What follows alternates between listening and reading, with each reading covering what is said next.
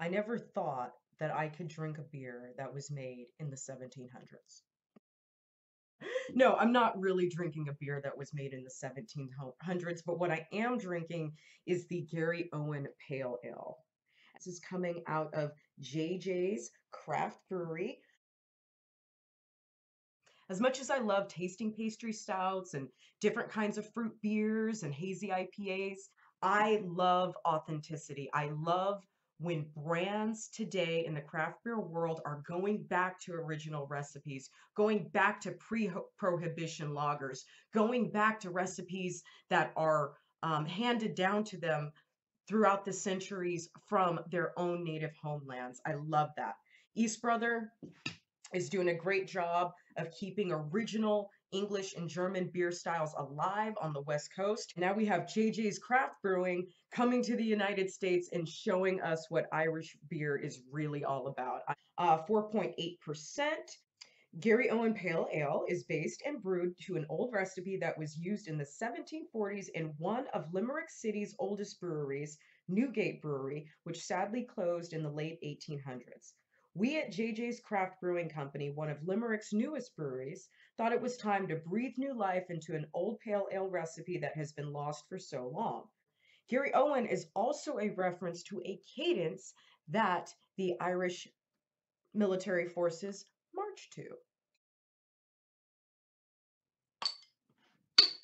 Don't judge me.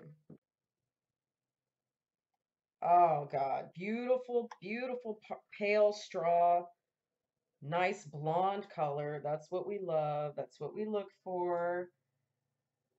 You know, something's kind of funny about the foam here, the head here. It looks, it looks thicker like it like it has almost like a like a layer on top of it. Don't know if you guys have ever made hummus or made a cheese sauce and there, there's that kind of skin that settles on the top. That's exactly what this is doing. This is kind of cool.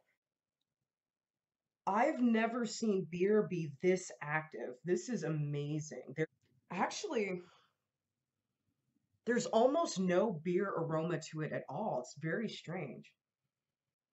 Cheers.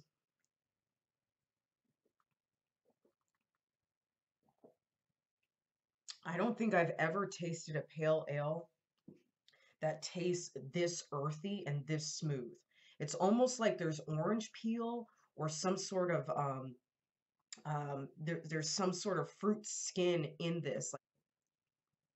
Pale ales in the United States tend to be a lot hoppier, and this is actually nice. Oh God, do I, do I have foam? this is much more palatable for somebody who doesn't like a lot of hop. I think this is smooth, it's tasty, it's full bodied, but it's got a really nice light mouthfeel. There's a certain there's a certain kind of a twangy punch to it that I'm really enjoying. But this is a great after work beer. This might actually be one of the smoothest, tastiest pale ales I think I've ever had. And you guys know I am loyal to Oskar Blues when it comes to their pale ale, but I think JJ is actually going to give Oskar a run for his money. JJ's, this is